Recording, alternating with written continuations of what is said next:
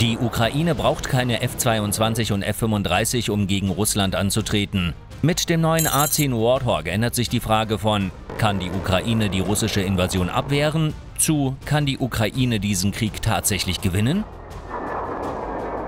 Die A-10 ist das beste Panzerjägerflugzeug des US-Militärs und da es in der Ukraine so viele russische Panzer gibt, könnten die USA die A-10 schon bald in die Ukraine schicken obwohl die NATO sich ganz klar dagegen positioniert hat. Warum wurde die A10-Frage dann überhaupt laut? Ganz einfach, die Lage hat sich zugespitzt. Russland lässt bei der Invasion nicht locker und dem Westen fällt es immer schwerer, nur von der Seitenlinie aus zuzusehen. Ja, sie haben haufenweise Militärgüter geschickt, aber damit lassen sich keine Kriege gewinnen. Die entscheidenden Faktoren in Kriegen waren schon immer die beteiligten Kampfflugzeuge. Die ukrainische Regierung weiß das und hat Flugzeuge von der NATO angefordert, was diese abgelehnt hat, weil es Russland aufbringen könnte. Gerade die A-10 ist etwas, das Russland nur zu gut kennt und um das man sich Sorgen machen muss, wenn man die Daten aus der Vergangenheit zur Rate zieht, was zutrifft. Schon im ersten Golfkrieg, bekannt als Operation Wüstensturm, richtete die A-10 dank der verschiedensten Geschütze einen unaufhörlichen Raketen- und Kanonenregen auf die T-55, T-62 und T-72 Panzer an der Front an, die von den Sowjets entwickelt wurden. Und dank der 1200 Pfund Titanpanzerung des Flugzeugs war es äußerst robust und konnte Schäden absorbieren, wie zum Beispiel als die A-10 des damaligen Kapitäns Paul Johnson einen direkten Raketentreffer am rechten Flügel erlitt. Ja, die A-10 und Russland sind sich schon einmal begegnet und Russland würde sich nicht gerade auf ein Wiedersehen freuen, vor allem da das Flugzeug inzwischen viel tödlicher und langlebiger ist als während der Operation Wüstensturm. Als einziges einsatzbereites US-Flugzeug, das von Grund auf für die Luftnahunterstützung gebaut wurde, hat die A-10 viele Anhänger gefunden und ihre Effektivität unter Beweis gestellt und dabei Hunderte von Menschenleben gerettet. So sehr, dass der Kongress die A-10 immer wieder vor der Ausmusterung bewahrt hat, indem er sie mit Upgrades vollgestopft hat. Und zwar mit so vielen, dass sie in Serien installiert werden mussten. Aber was für Aufrüstungsreihen und welche Vorteile haben sie? Die radikale Veränderung des A10 Wardog begann mit den Serie 8 Upgrades. Mit ihr wurde das V12 Luftrettungssystem in die Steuereinheit des Flugzeugs eingebaut. Dieser Einbau ermöglichte eine wesentlich effektivere Kommunikation zwischen den A10-Piloten und dem Bodenpersonal, wie zum Beispiel den Rettungskräften und den Piloten, deren Flugzeuge abgeschossen worden waren. Die Serie 8 verfügte außerdem über bessere Distanzwaffen mit mehr Reichweite, wie zum Beispiel die AGR-20-Raketen, die sich viermal schneller laden lassen als ihr Vorgänger.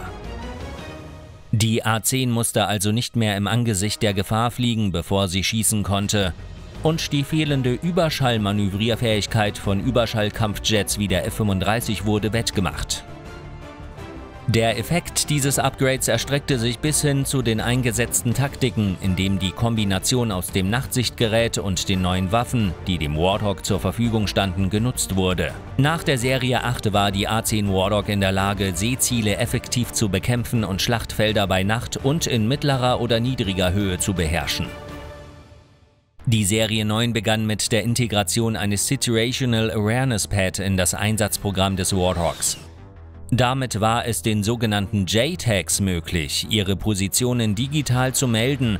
Das war ein großer Fortschritt gegenüber der Zeit, als die Piloten nach ihnen am Boden suchen mussten.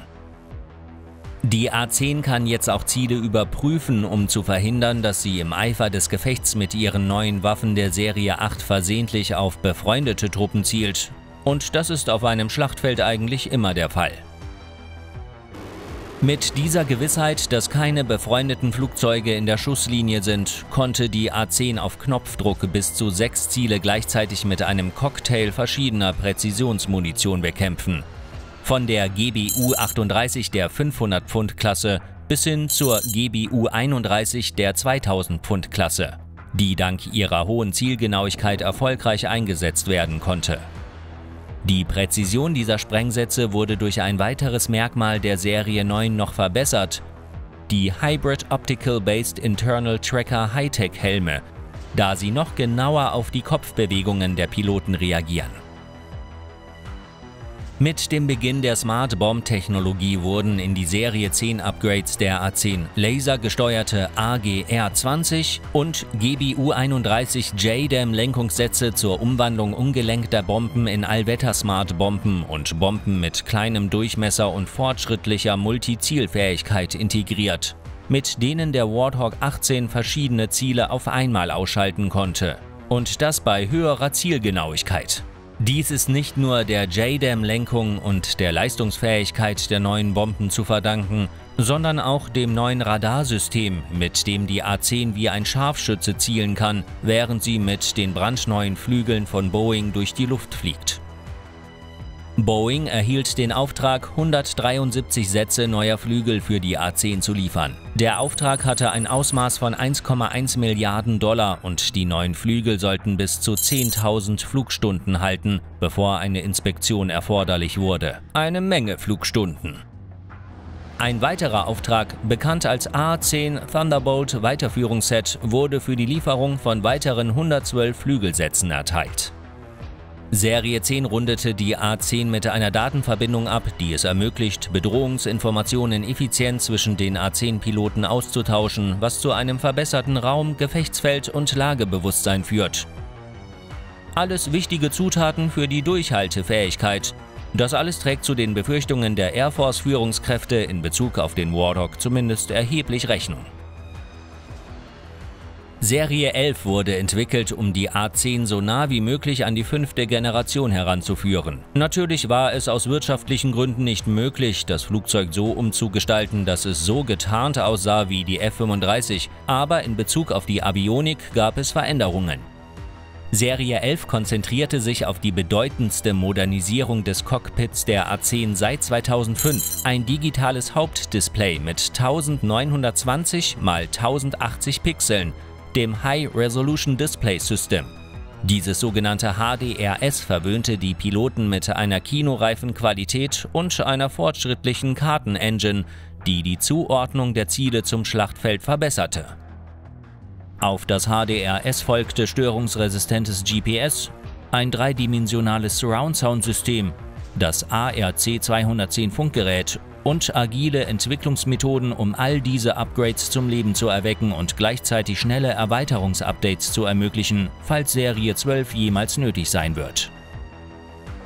Da sich die A10 der fünften Generation nähert, könnte das Flugzeug schon jetzt so gefährlich sein wie kein anderes Kampfflugzeug seiner Generation und der Beweis dafür ist die Tatsache, dass es Stimmen gibt, die fordern, das Flugzeug in die Ukraine zu schicken und das moderne Russland zu bekämpfen, als eine Art Kampfansage an die russische Luftwaffe, die in der Ukraine ziemlich beschäftigt ist. Es wäre also eine gute Idee, die A-10 zum jetzigen Zeitpunkt in die Ukraine zu schicken. Nun, Russland hat die meisten Panzer aller Länder der Welt und die A-10 wurde in erster Linie als Panzerknacker entwickelt. Ihre Hauptwaffe, die hydraulisch angetriebene 30 mm Autokanone GAU-8 Avenger mit sieben Läufen, die sowohl hochexplosive Brandbomben als auch panzerbrechende Brandbomben mit abgereichertem Uran enthält, ist stärker als die Kanone der F-35. Die A-10 kann also 3900 Schuss pro Minute abfeuern und dabei auch ihre Raketen und intelligente Munition einsetzen. Das russische Militär könnte die A-10 jedoch als zu tödliches Geschenk betrachten und die NATO direkt ins Visier nehmen, weil sie sich, wie vom russischen Präsidenten Wladimir Putin vor Beginn der Invasion angedroht, stark engagiert. Und das Letzte, was irgendjemand will, ist ein totaler Krieg zwischen Russland und der NATO, denn zusammen haben sie genug Atomwaffen, um diese Welt, wie wir sie kennen, zu zerstören. Auf die Frage, ob A-10 in die Ukraine geschickt werden, antworteten der US-Luftwaffenminister Frank Kendall und der Generalstabschef General C.Q. Brown, dass ihnen keine Pläne bekannt sind. Die A-10 wird wohl nicht in die Ukraine kommen und wurde noch nie von einem anderen Land als den USA geflogen. Dies zeigt, wie besonders sie für die Amerikaner ist. Die A-10 Warthog. Ein Kampfflugzeug das mehr als alles andere ein Beschützer über den Köpfen war, hat sich 50 Jahre lang bewährt und fliegt weiter, um ein Leben nach dem anderen zu retten und verlangt dafür nur eines. Dass du diesen Kanal abonnierst und diesem Video ein Like gibst. Was denkst du über die A10? Sollte sie in die Ukraine geschickt werden und dort bleiben? Teile deine Meinung in den Kommentaren mit. Danke fürs Zuschauen.